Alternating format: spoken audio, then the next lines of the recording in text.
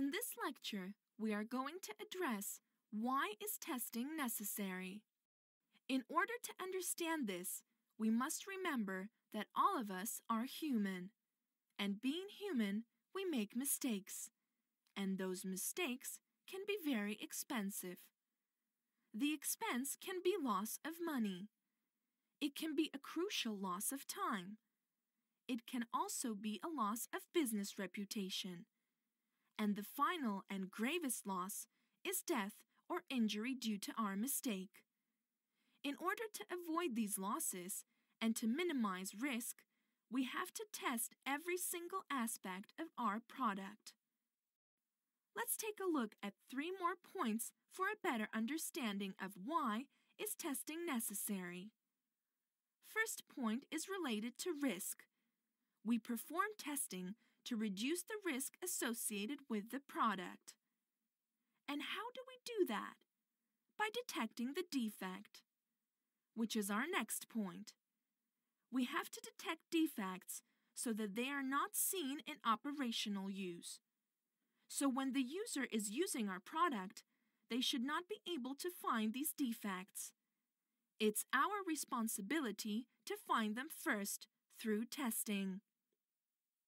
The third point is meeting the contract.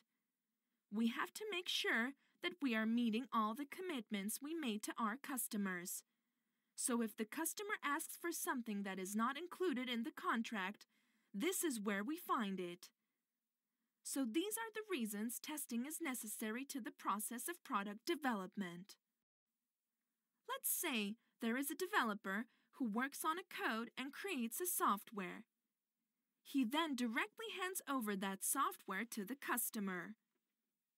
Now that the customer has the software, he uses it, but soon becomes very disappointed. Why? Because he has found an error in the software. So now the question arises why did the customer find the error and not us? The answer is that once the software was developed, we handed it over directly to the customer instead of going through this rigorous process of testing. If we had put the product through this process, it is possible that we could have caught the error before it ever reached the customer. And this is where I have to mention something crucial. We have to perform appropriate testing at appropriate levels. The development of a product can be broken down into several levels of activities. At each level, we have to decide what is the appropriate testing that should be carried out. Let's take a look at these different levels of development activities. The first level is requirements. In a coming video, you will see how testing requirements contributes to success. The second level is the design stage. Here, we will see how testing design contributes to success of the project. After design comes coding, and we will also discuss how testing coding contributes to success.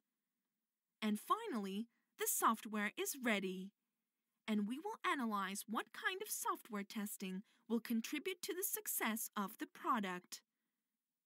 If we carry out testing at each level, then we will achieve a successful product.